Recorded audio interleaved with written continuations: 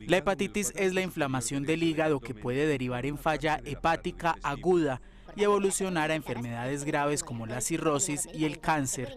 Se calcula que en el mundo 240 millones de personas tienen infección crónica por hepatitis B y 150 millones por hepatitis C.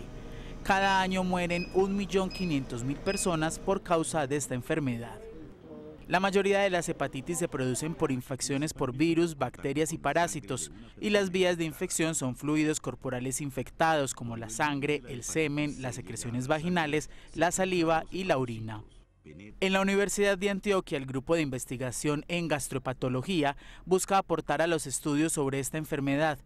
Recientemente hallaron presencia de hepatitis A en el agua residual y de abastecimiento de municipios como San Pedro de los Milagros, Venecia, Cisneros y Zaragoza. Eso tiene unas implicaciones como a nivel de la salud pública y es que el virus de la hepatitis A y el virus de la hepatitis E, el modo de transmisión es por la ruta fecal oral, es decir, cuando se consumen alimentos o agua que están contaminadas con el virus de, la, de estas hepatitis.